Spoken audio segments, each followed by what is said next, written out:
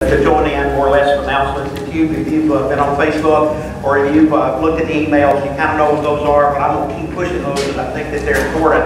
And then um, uh, I want to give you a little bit of update from my doctor's appointment Thursday. And then I'm not going to spend a lot of time, but I got to give you lessons from a hip replacement. Okay? I got to give you lessons, okay? When you when, when you've got six weeks, and basically all you do is is uh, is physical therapy, uh, eat, and not a whole lot of uh, not a whole lot of sleep. You have an awful lot of time to think, okay? And uh, and I'm a learner, so uh, uh, the Lord gave me some lessons.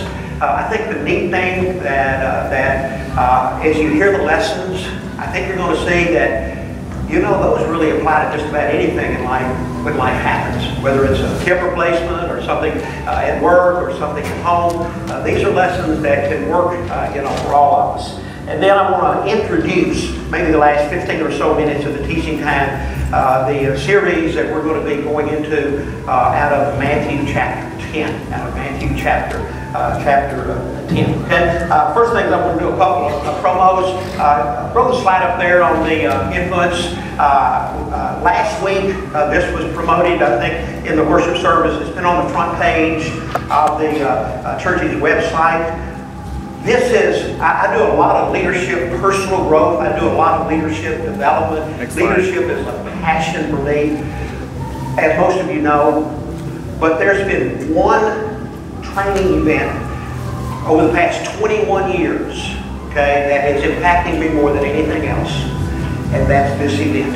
That's this event. It's, uh, it's live, simulcast uh, out of Chicago, uh, the great uh, Willow Creek uh, Church. Uh, Bill Hybels is founding and still the, the current pastor, they, although they are in a search to transition Bill out. Bill's in his mid, mid 70s. You've got two days of uh, uh, some of the best practitioners and speakers. Uh, a couple of bookends this year. Bill will open it and Andy Stanley will close it in terms of speaking. And then in between are speakers from the marketplace, from really academia and, and government. Uh, it's unapologetically biblical and Christian. But I want you to know that out of, out of about 600 host sites in North America, and about half a million people watching, somewhere between 40 and 50% of the folks engaged are not Christian.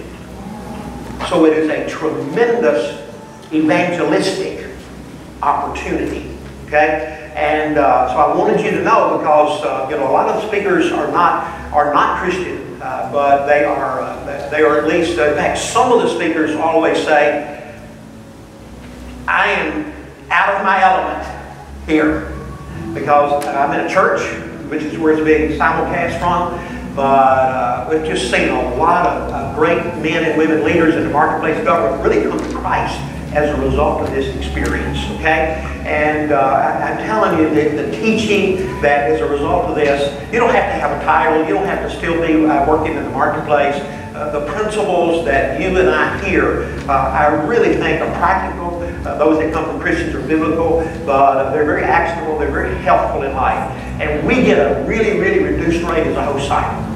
But that ends July 12th. That ends July 12th and the price uh, goes up. So I just want to encourage you, it might be something you want to sign up for as a table. We can reserve a table for you if you want to have your table together. And if you can't come to all of it or part of it, I think it'd be worth your while. But I wanted to put that in front of you. In fact, next week, uh, I'm going to kind of do the offering and announcements and uh, welcome uh, in the weekend services with the exception of the 10 o'clock service. Uh, because I said, I am not missing my class. Okay, you get somebody else to do it. All right? I'll do it Saturday night at 8.30 and 11.30, but I'm not missing my class, and I'll be speaking to this in the class, okay? Uh, the next slide has to do with this huge push about something that I have absolutely no knowledge about. Social media and Facebook, all right? I, but, uh, uh, you know, I, when I, I went to really Matthew probably two months ago, and I said, listen, I just need some vehicle, some tool to stay better in touch and really to reach out uh, to others that may not be in, a, any kind of Bible study. And he said, are you on Facebook?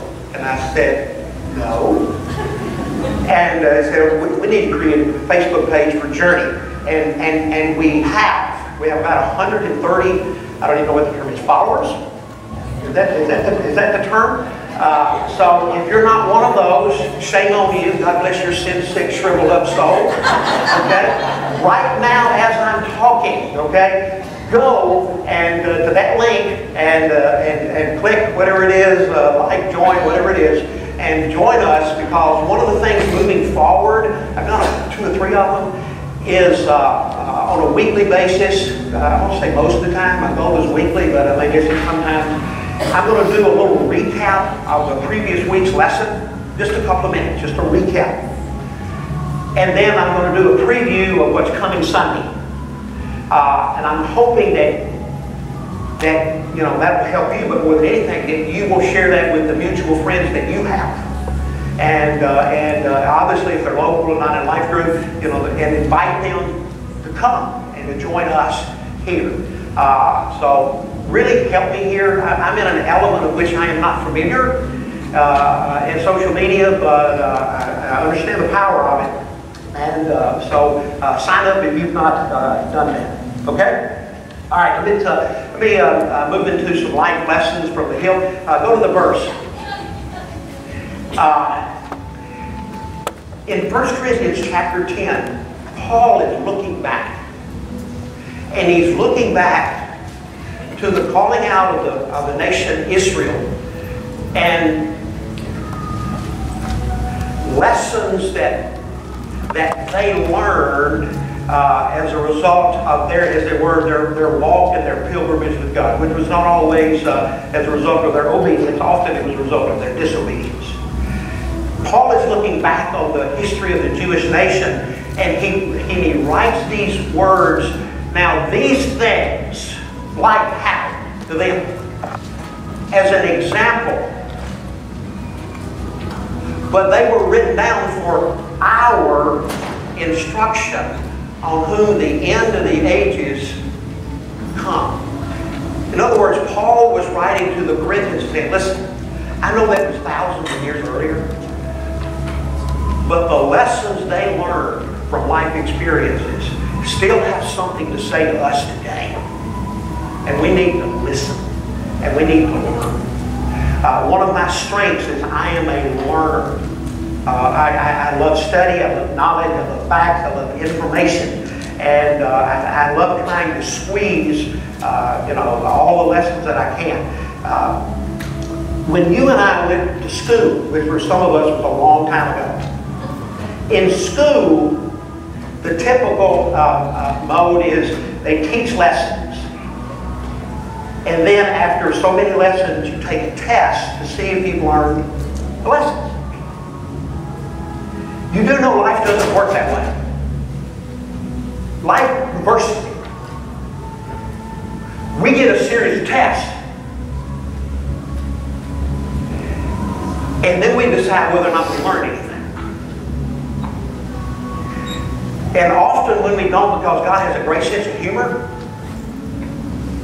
we get on the merry-go-round. Because we have refused to learn lessons. And uh, I don't want to be that way. I really want to squeeze everything that I can, life lessons, to help me to be a, a better person, a better Christ follower, uh, a better husband, granddad, and, uh, and, uh, and, and so on. So, I want to give you these I'm just going, I'm not going to elaborate on them. Uh, I tried to reduce them at one point, there were two or three pages. Okay, because there's a lot for me to learn, obviously. Okay, but put it in, you know, my context was a hip replacement for you. You know, maybe you had an automobile accident. Maybe you got a terrible doctor's report. Maybe you're facing uh, surgery. Maybe uh, there's some issues going on in the home. Maybe there's some issues going on at work. I, I don't know, but I do know life happens and throws tests at all and I think we need to posture ourselves kind of. So here are the, lessons. There are nine of them. Again, I'm not going to spend a lot of time on them. I think they'll be self-explanatory before we move into Matthew chapter 10. Uh, number one, life is moving way too fast and I can't slow it down. And that really frustrates me. I just sometimes want to put it on pause. How can you just slow it down just a little bit? It just seems to be just buzzing at, at uh, speed of light. Just please slow it down. May 17, I had surgery, and I stand here 46 days later. And I feel like all I did was take a deep breath or blink my eyes. Uh, I started having pain in my hip in, in, October, and I can remember the day that I was running and feeling the discomfort as if it was this morning. And it was eight months ago. Uh, Bible is right. Life is a vapor. Life is a mist. Life is like the morning dew. And the older you get, the smarter that ought to make you in squeezing everything that you can out of this life that's moving way too fast. Number two, humanity. My humanity is fragile and frail, especially as I age. I can admit that, but I still have a ways to go to embrace that. I hate being human. I just hate, uh, but you can't, the only way to beat this is die. Okay? And I know I'm going to heaven. I look forward to going to heaven. We talked about heaven in here, but I am not signing up for the next load. Okay? I don't care how painful and agonizing, okay? Uh, you only get one shot here. And we need to make the best of that, even in the sense of, you know, I didn't tell you, not that it matters, but some of you who are aging will understand this. I had not just my hip surgery May 17th, but within three weeks prior to that, I had an endoscopy and a colonoscopy. Okay, I have been poked and prodded in every crevice of my and they put me in, under anesthesia for all of us. Okay, so if I say anything goofy, I may still be under anesthesia after three uh, doses of uh, doses. That just can't be. But I do know from my heart issues years ago, and it changed my life from the standpoint of exercise, uh, eating, and being healthy. Uh, my surgeon and my physical therapist said, you are weeks ahead of most of the patients because you were in good shape coming in. And it matters. Okay? Is eating right fun? I don't think so. eating healthy. Uh, is exercising fun? I don't think so. I know, it's just me. Okay? Uh, I've had folks who I think they were goofy say, well, the, the more you exercise, the more you like it. I think they're nuts. okay? Maybe that's true of them, but they're deranged. Okay? It's just a necessary part of life. So I'm encouraging you, regardless of your age, you be smart to eat better and exercise. You'll be glad. And I've come to the conclusion not to do that may be one of the most selfish decisions you and I can make for the people that we love. Okay? Number three. We tend to take the common, simple, and ordinary activities and blessings of life for granted. We tend to take those for granted. Okay? I get in the shower every morning, shower myself, okay, and go through the day. Okay? Uh, I couldn't do that for three weeks. I needed help. I couldn't put shoes and socks on. I couldn't walk. There was a lot of things that I do on a day-by-day basis. I couldn't sit comfortably. I couldn't sleep. I couldn't drive. Those are things that I took for granted I've done every day for years.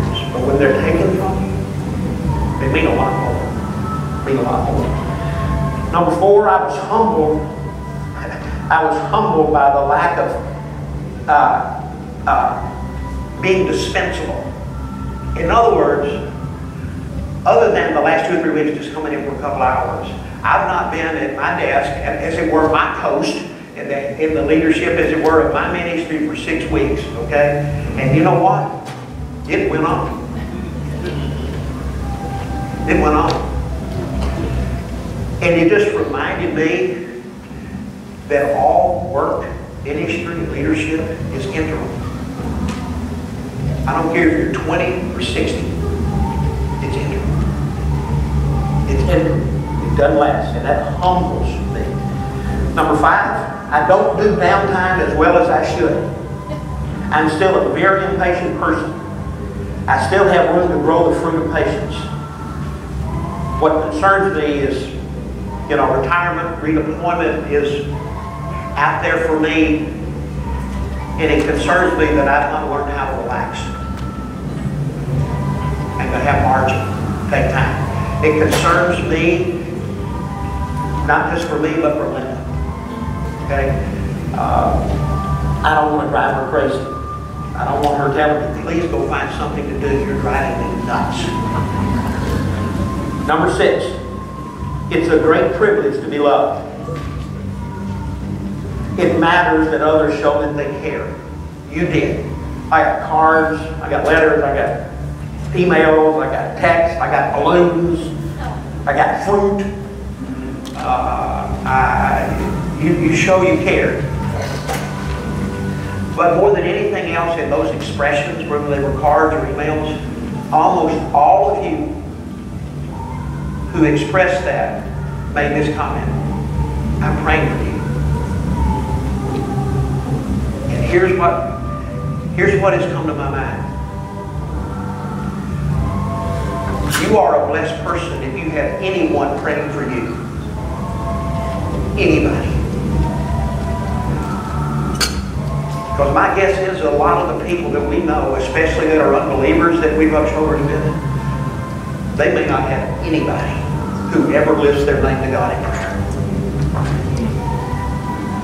That scares me. And I'm honored. I, know I was on you know, the lips of many of you in prayer. And uh,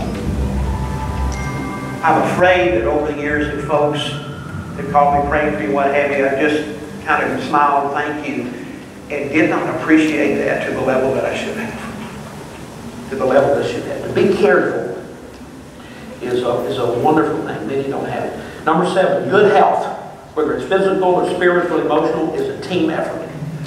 Uh, I had the best surgeon in the world. Uh, those who attended to me in the hospital, uh, my surgery was late on May the 17th. It was supposed to be early in the morning. It was late that afternoon. Uh, excuse me, middle of that afternoon. About, uh, and uh, I was in physical therapy. I had surgery about 12:30 and physical therapy about 4 and home by noon the next day. Home by noon. That's a great team effort. Huge team effort uh, folks taking the talents and abilities that God has entrusted to them, though they may not appreciate the source of those.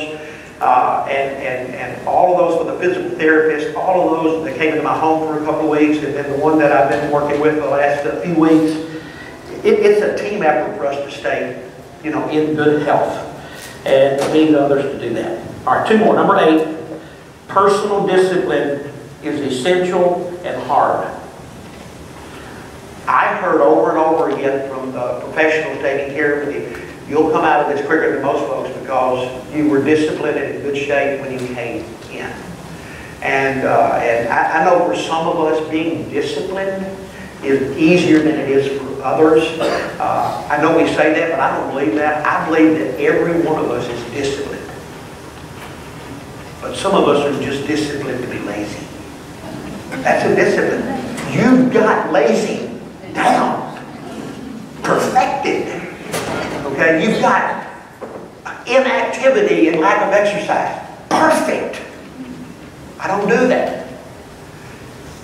One of the things, one of the fruit of the Spirit, along with patience, and one of the uh, one of the uh, uh, uh, attitudes of life that Paul says can put you in a place of being disqualified in terms of effectiveness is a lack of self-control and lack of discipline.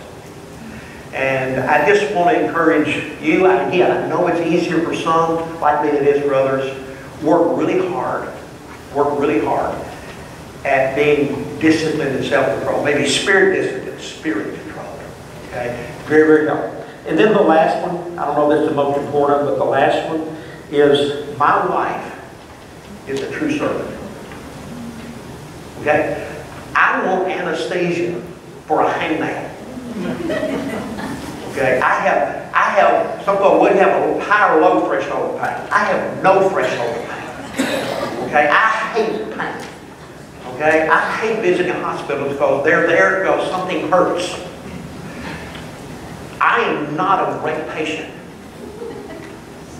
I remember early on when we got home, I was telling another table, uh, early on, some of that ended up being medicine related. I remember waking my wife up because getting in out of bed was extremely difficult, waking her up and just standing there in front and just, you know, frankly crying out in tears, what's wrong with me?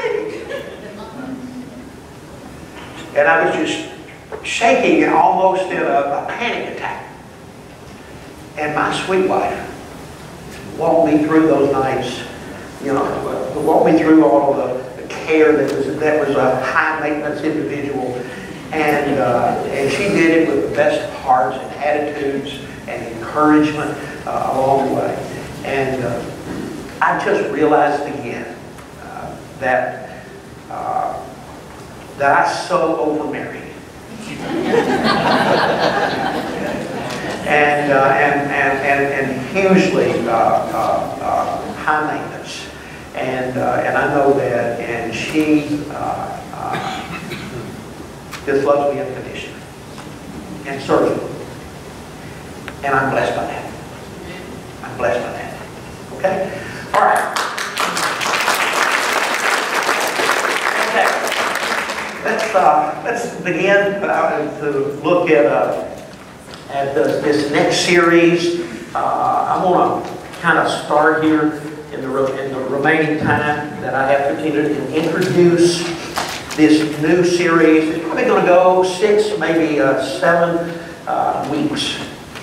Uh, I'm going to begin with a statement. Do think your listening guide uh, and some scriptures, uh, but I, am moving toward Matthew 10. Just trust me. I'm, I'm just trying to to build a foundation for this next series. Salvation, the privilege of personal relationship with God, is a gift with a goal. It's a gift with a goal. The first part, I'm pretty confident that you are aware of. I'm not sure the last one we, we are intentional about enough. Uh, this will be important. Uh, I got two questions at the end to ask you. Okay? And, and the first question is going to be a very uncomfortable question in the sense I think some of you are going to really struggle to articulate a clear answer. I think when we often think of salvation, we tend to think of it, if we think of it in terms of goal, heaven. And you know we believe in heaven. On it in eight weeks. It's, it's, it's going to be a wonderful, wonderful place.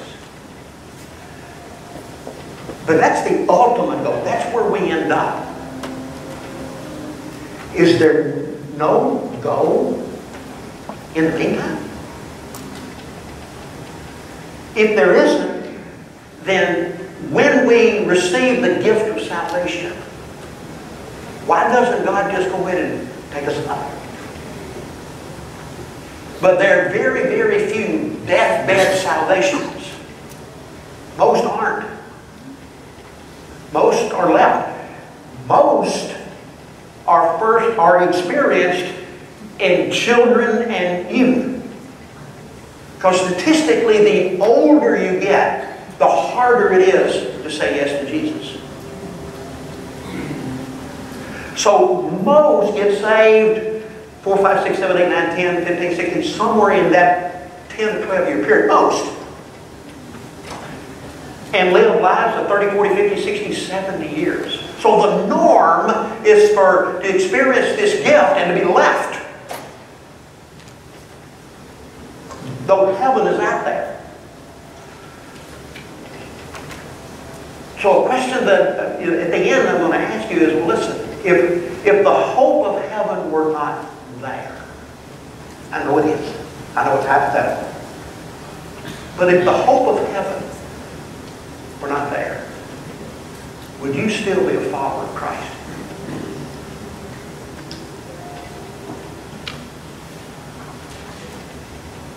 That demands some thought. Okay. What I don't know around the table, because the intense peer pressure, is how honest you can be. I know that. Okay? But I'll let you know, because you'll be thinking about that question for a while, is I've asked that question in a lot of different groups, usually men. And I watched group after group, man after man, struggle in answering that question. Why am I a follower of Christ? But leave my hope of heaven out.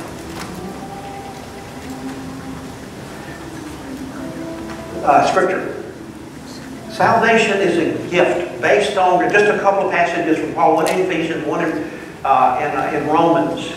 Uh, Ephesians 2, 8, 9. I know you're familiar with it. Just for by grace, grace, unearned, undeserved. We need to remember that. Some of us in the room have been saved for a long time, and uh, it's easy to forget uh, that years and years ago you didn't earn it or deserve it and God graced uh, you into a relationship with Him uh, through your faith, through your trust, through your belief, through your repentance, through your uh, uh, uh, trust in Him and the work of His Son.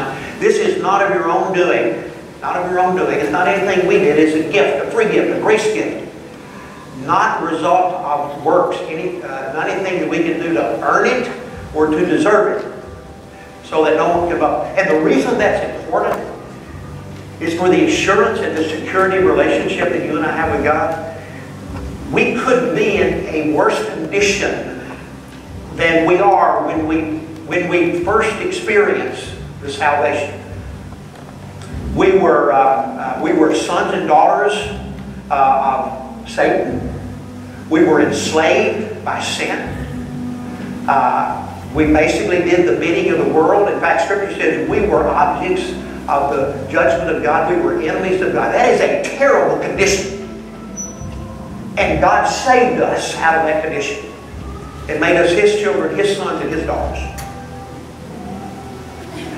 The reason this is important that we didn't do anything to earn it, because when we first received it, we could not be in a worse condition.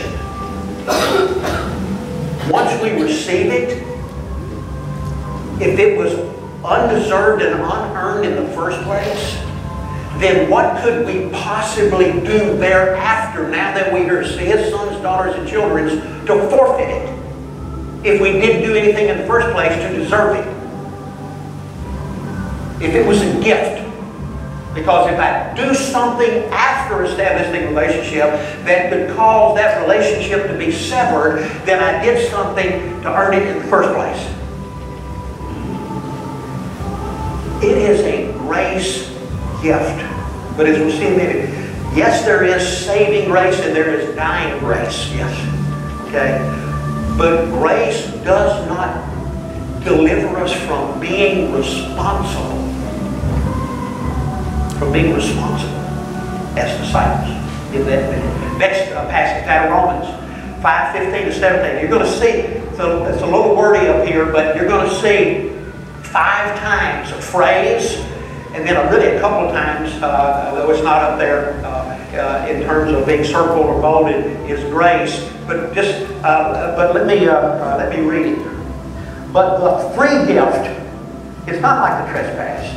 For if many died through one man's trespass, through Adam's sin, much more have the grace of God and the free gift by the grace of that one man, Jesus Christ, abounded for many. Verse 16, and the free gift is not like the result of one, that one man's sin. For the judgment following one trespass brought condemnation, but the free gift following many trespasses brought justification. For, for if, because of one man's trespass, death reigned through that one man, much more will those who receive the abundance of grace and the fifth times the free gift of righteousness reign in life through the one man, Jesus Christ. Though it is based on grace, though the salvation that you and I uh, uh, uh, that you and I experience through grace, grace does not eliminate us of the responsibility to walk with God. It does not give us the right to live any way they want to live and, and say, well, God has to forgive me. Grace, uh, put this way, grace doesn't fix us up where we can't sin. It just fixes us up where we can't enjoy it anymore. We can't live in it anymore. Doesn't mean we won't say we do.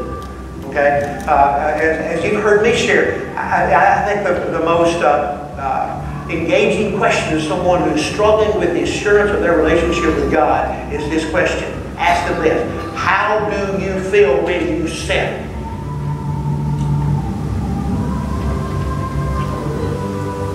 How do you feel when the goal, go to the next slide. The goal, if I'm not even addressing heaven, I think the goal of salvation that is a gift is twofold. And, and Kevin, you even mentioned this in your prayer about being one before you try to make one. Is that the first and the most important goal is, is being, it's internal, it's character. It is, and we'll see in verses 24 and 25 for next week in Matthew 10, that it is the basic premise of what it means to be in a relationship with God and to receive the free gift of salvation. And that is we are on a journey to become as much like Him, first of all, internally, in character in our lives, uh, and, and, and, attitudes, beliefs, and, and behaviors, and anything else. It starts there. Out of that comes the doing, the external, and the conduct.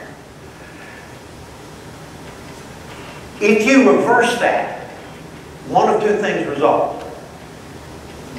Legalism or hypocrisy. And we all know folks like that. They forgot if they ever knew. My question in relationship is the most important thing about the transaction of, of, of, of, salvation and relationship with God is change. And that change is into the likeness of Jesus Christ, first in who we are, and then in what we do. And then in what we do. Critically important to be like Him. Now, the first one, the being, eternal, is the hardest it's the most difficult to take place because I call it heart work. And heart work is always the hardest work. It's always the most difficult. Okay? Because that requires internal transformation and change. It's just easier to kind of play the game and do things in a hypocritical or legalistic fashion and not have the transformation take place inside. Okay? So, let me remind you of the, of, the, of the mandate. Go ahead, the next slide. The mandate. This is very familiar. We know these, uh, uh, these four verses, especially the last three, as the Great Commission.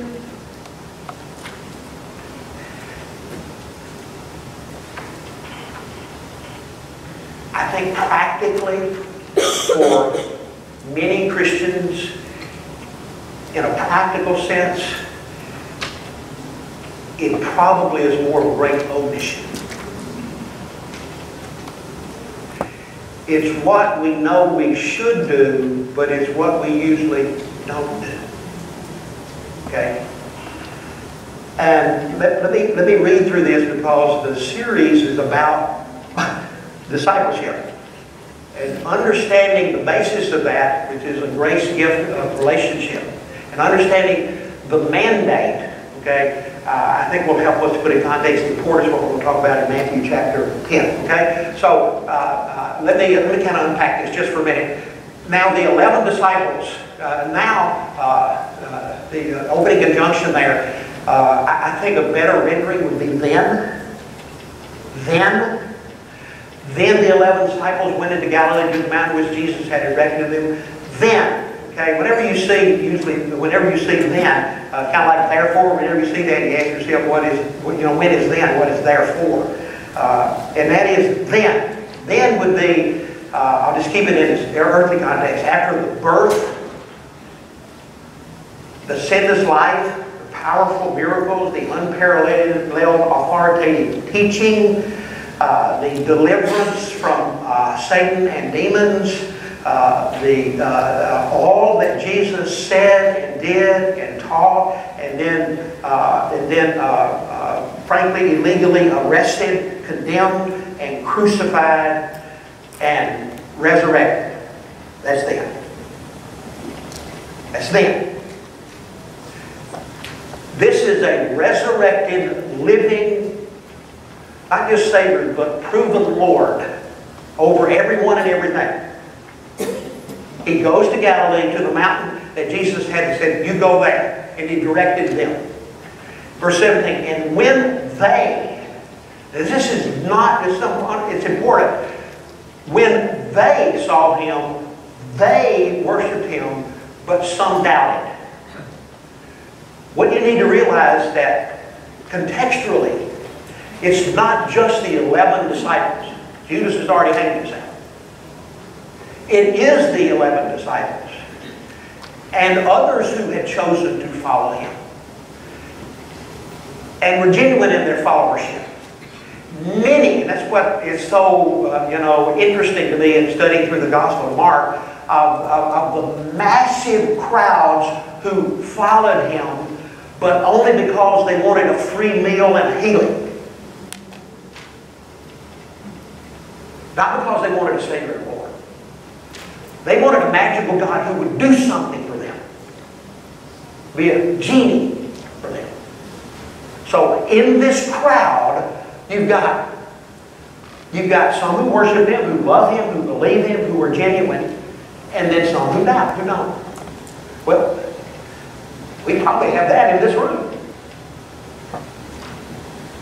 We definitely have it in a worship service. You're always going to have that. So that's who's hearing what he's about to say.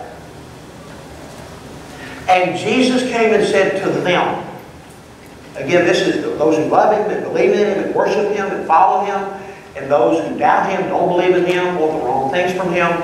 They're both hearing what? Some authority in heaven and on earth has been given to me. Most. How much?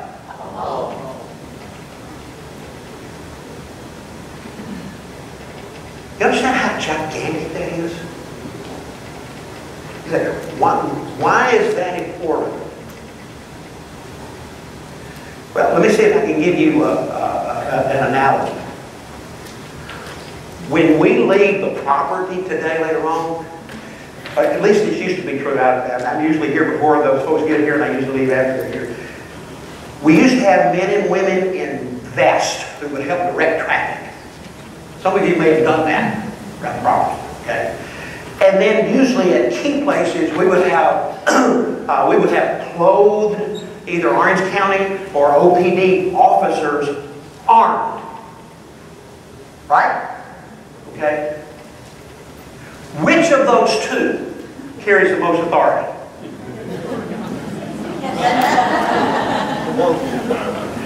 you know, I, I watched it. Okay, as, as some of you, I've watched people almost run over our people. Why? I don't care that you have an orange vest on. Get out of the way. Okay? And they, you know, they're doing this and, you know, you're giving them another sign that you shouldn't be giving them and, and all of that. And then, and then, and yet, then you up and you see in front of you this dark blue or you see this green uniform and you see the, this pistol and they do this and what do we do? Oh, gosh. We stop. I mean, most of us, even when we drive by radar, have an adrenaline rush of guilt. Okay? Well, maybe I was okay this time, but they just didn't catch me last, last time. Okay? The, the, the only difference here is authority. Authority. And if you don't believe that he has all authority, which he had proven in his, in, in, in his public ministry, over every realm possible, then if you don't believe, then it doesn't matter what he's about to say.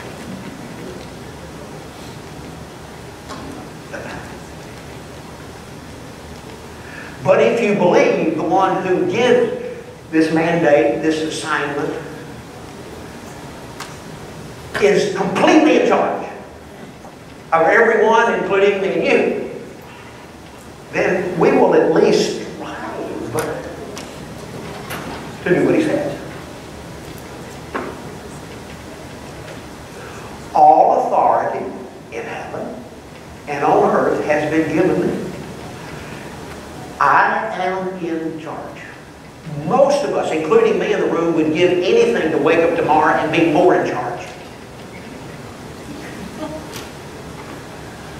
Not just of our life, but everybody who touches us. I told Linda in, in the midst of one of my weeper moments when she was telling me, you can't do that, you can't do this.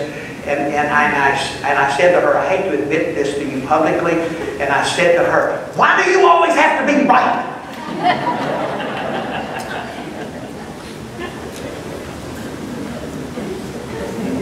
We was just that admission. I hate it, honey, when you're in control. All authority in heaven and earth has been given to thee. Go therefore and make disciples. Notice in the bowl, make disciples. That's the central commission, mandate. Make, as Kevin prayed. Jesus just assumed we would not try to make one if we were not one. That's just common sense. You can't make what, you, what you're not. So being one precedes uh, helping others to become one. And he explains to us, okay, here's the mandate, make disciples. But the real question is, but how do you do that? And he gives us three, I got them in italics up here, really modifying uh, participles or adjectives of that main verb on explaining how do we make disciples. By going, therefore, by going as you are living, as you go to work, as you go to the grocery, as you go on vacation, as you go to this, and as you go to that, you know, first and foremost, you're just trying to live the life and uh, be the salt and, and, and, and, and, and, and to be the light uh, and, uh, and to give, uh, give credit where credit's due of the transformation in your life as you are going in life. It's a lifestyle. Okay? Baptizing them in the name of the Father, Son, and the Holy Spirit.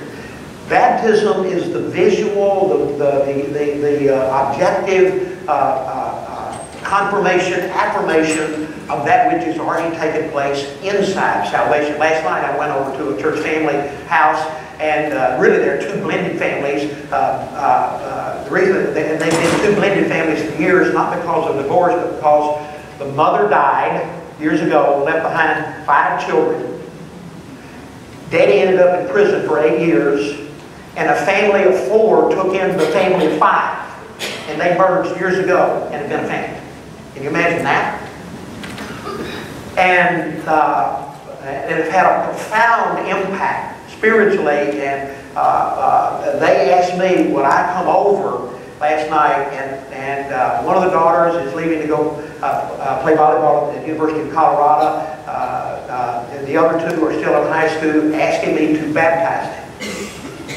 So I did that last night in their swimming pool in the rain. And, but before I baptized any of them, and I had forewarned them, you're going to give a public confession of when you came into a personal relationship with Christ. Because baptism is a picture of that confession, public. And, and, they, uh, and all three of the teenagers did. And then, uh, uh, uh, uh and then we uh, baptized them. Baptism is that public, as it were, confession of Christ. And it's important. And then the third part of the process is teaching them, instructing them uh, modeling for them, being an example for them, you know, getting them to read the Word of God, all the things that goes in teaching them to observe, to obey. It's not just about knowing. Uh, you know, in Scripture, the opposite of knowledge is not ignorance, it's disobedience. We don't really know something biblically until we're living it out. Teaching them to observe all that I have commanded you. Now, notice the very last uh, sentence. And behold, I am with you always to close of the age. Do you think that promise is only related to the physical aspect of Jesus? Because Jesus is only here for a relatively short period of time. This is not a promise of his physical presence because he wasn't with them physically. Jesus makes a promise that if you do what I'm asking you to do, then I am going to promise those of you who do that my ongoing, indwelling, empowering presence in your life. And oh, isn't that what we want? To know that God is alive in our lives and living and working through us. I read years ago these words along, along this line. The tragedy of the lives of most Christians is not that they're terribly uh, uh, immoral or disobedient, because frankly aren't. The tragedy of the lives of most Christians is that their lives are basically inconsequential.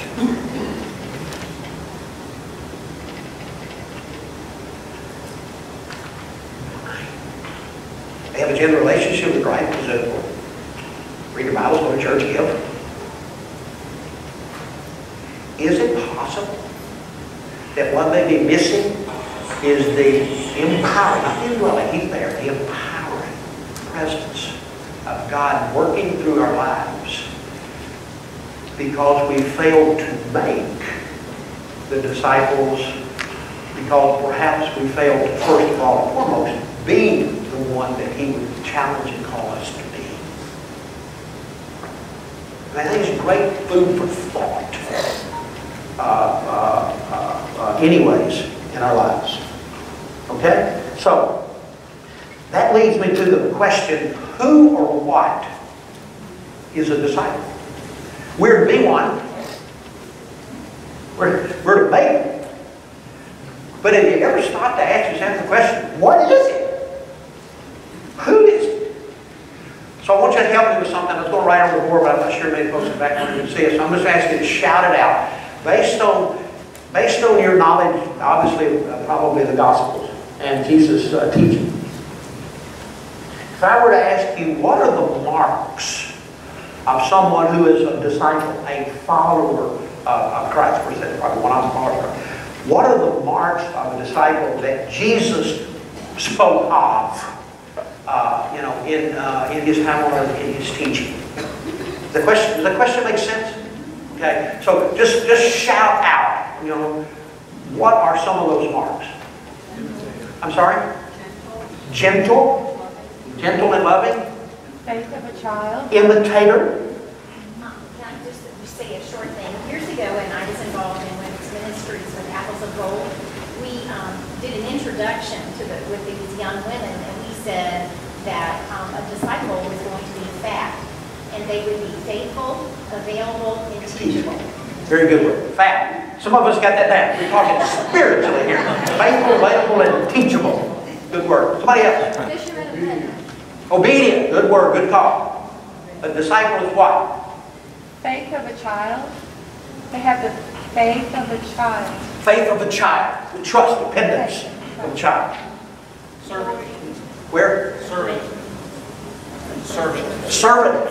Is that Okay, uh, serving. Servant hearted. Okay? Humble. Oh, good word.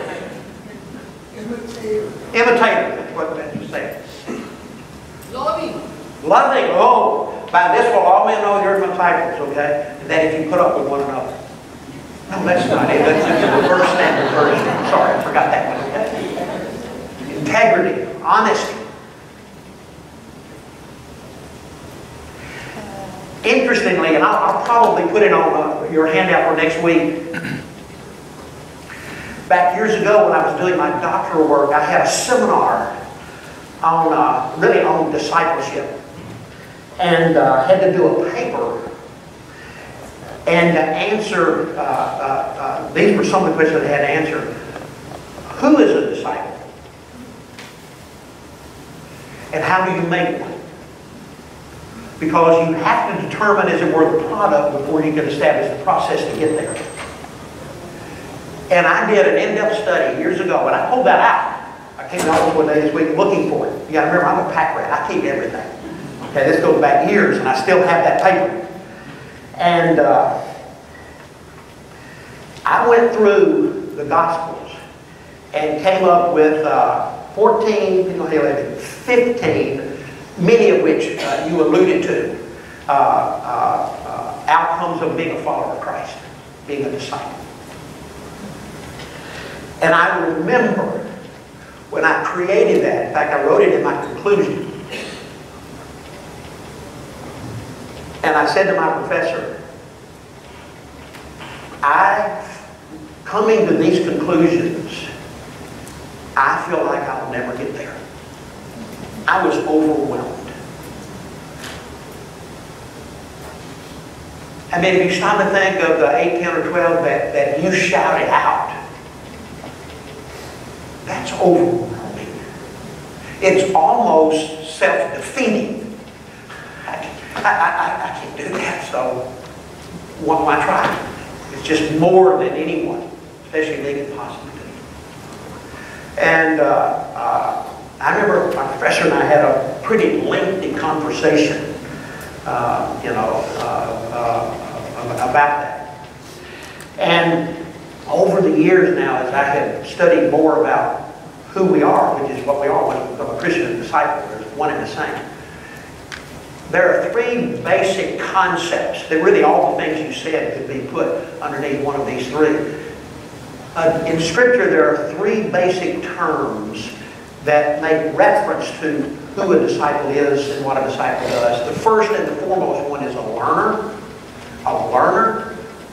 Uh, there, there's a noun and there's a, uh, a, verb in the Greek, translated in English, called manthano or mathetes about 260 times in the, uh, in the, in the Gospels.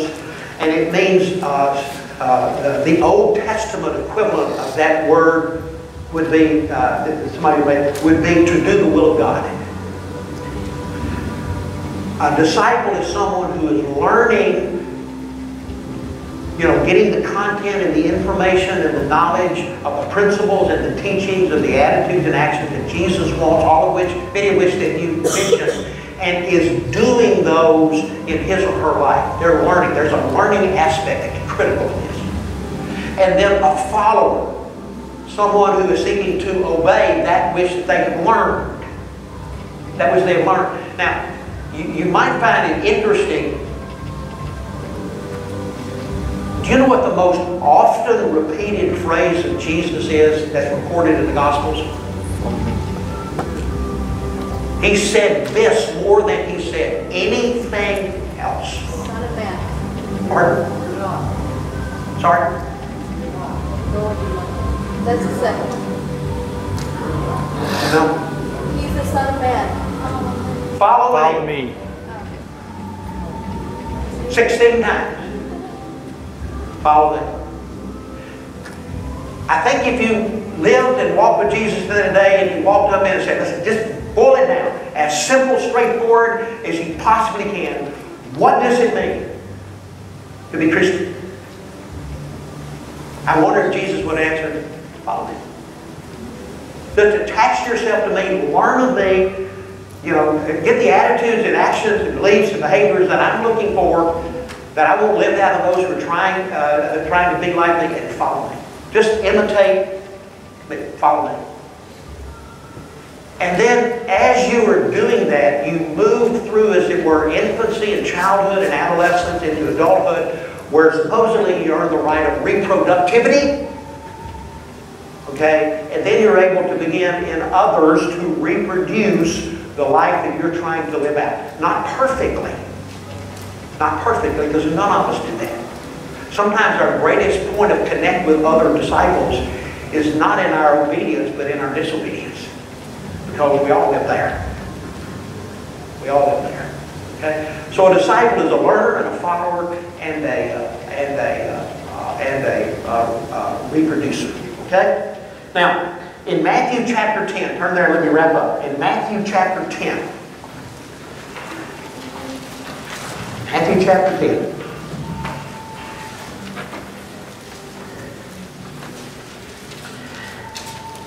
I have given you kind of the overview of the chapter, of being a disciple.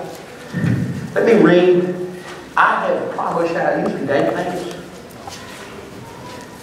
This is something I cut out of a, uh, out of a, publication of peace that came from a public ministry. And it's so caught my attention back in the early 80s.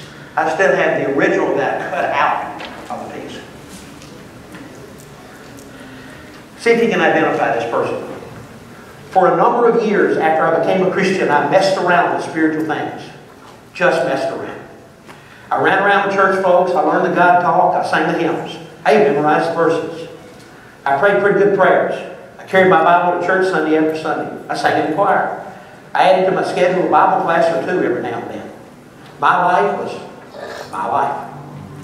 I did not let all that religious stuff interfere with the things uh, like my career, my home, my strong will, my pursuit of things, my determination to go my own way, or my own personal plans. I wasn't a wife beater or a criminal or an alcoholic or some awful notorious sinner. No, I was just a selfish man. I knew how to get what I wanted and nothing was going to stand in my way. Stubborn and opinionated, I rolled up my sleeves and was ready to slug it out with whoever stood in my way, including God. I was a Christian, but certainly not a disciple. Hmm? That sounds like all of us. It does sound like all of us, it does, doesn't it? You know who wrote that? Chuck Swindoll. Chuck Swindoll. But probably most of us could sign our name. Sign our name. What these next weeks are about is how do we become more of a disciple? And in Matthew chapter 10, Jesus is quickly, and I think in Matthew 10, though Jesus talked about what it means to be a disciple, a little bit of discipleship here and there, this is the most comprehensive in one place teaching about what Jesus believed about discipleship, who is a disciple, and what are the expectations of those who say that they want to follow me. It is some of the most demanding, some of the most difficult, some of the most convicting of all of the teachings of Jesus. It will force me and you these next few weeks to examine the level of our commitment to Christ.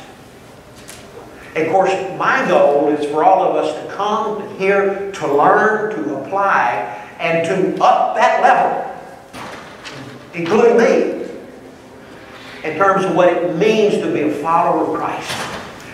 What Jesus does in this chapter is he kind of lays down, here's the commission, here's the call, we all have that. And then he instructs them how to, how, how to go out and to represent him, kind of like in that Great Commission. In fact, three times I think it says go. And then in verses 16 to 23, he begins to warn them, if you go out to make disciples, because you are being one, I need to warn you, the world in which you live will not give you a warm reception. Boy, has that ever been more true than today. And then beginning in verse 24 through 42, which is where we're going to study, 24 to 42, Jesus challenges them and basically tells them, here's what it's going to cost. Here's what you need to be willing to do. Here are the demands of being a follower of me. And he, I think he basically, though he doesn't use this, I think basically he's asking each of us this question. Am I willing to pay the price? Am I willing to pay the price? So what I want you to do, go to the next, uh, I think it's a slide, go to the next slide. Yeah. Uh, I believe in repetitive reading. I think that's how we get God's Word into our mind and heart. I want you to read for next week verses 1 through 25. You're welcome to read all 42, but especially 1 through 25. Kind of read it several times and really, really focus on verses 24 and 25, the last two verses.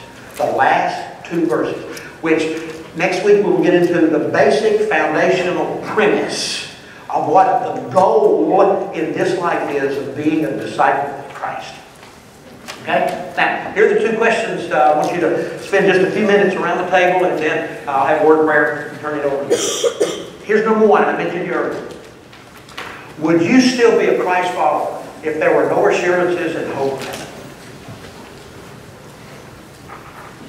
Why? Why not? I obviously haven't implored you to be honest, but uh, when you're around a table with five, six, or seven, or eight people, it can pretty get uncomfortable. Okay? And then secondly, I began with this statement, salvation is a gift with a goal. What are your thoughts about that? I mean, you have to agree. Just, it's my thing. I know you agree with the first part, the gift. Uh, but what about the last? Okay? Hey, gang, I can't tell you how good it is to be back and to see most of your faces. See all that? And uh, just. Let's get into this book. This is going, I really think of the last two years of the teachings that I've done largely in here. And I don't mind the Lord led me to this. I ask you to pray for me so it's your own fault. Okay? This is where God just kept bringing it. Uh, I, I'm just trying to be as honest as I can. These next four or five weeks are going to be very difficult. Okay? Let's let that be okay. Okay? Because a lot of times change takes place because discomfort. Okay? Father, thank you for your word. Thank you for the joy of being back. Thank you for lessons from a different place. Thank you for, again, the encouragement, prayer, the cards, the love uh, from the folks in this room and some that are not even here today. We thank you for the study we're embarking on. We understand it's from you. It's your word. It's your teachings. And uh, we're hopefully willing to embrace uh, this discomfort and uh, tension that, that we're going to feel about our own journey as a disciple. And Lord, I, I'm not here to, to question the, the conversion or salvation of uh, folks. Uh, you know, uh, you know, most, if not all folks, you know, they know you. They, they, they love you and, and recognize their need for you. But we want them to be all the follower and disciple you want us to be. We really need to understand what that is, even if it's difficult. At least we know what we're aiming. So bless the time now discussion around the table. And give us a good week of reading in Matthew 10 and learning. In Jesus' name I pray.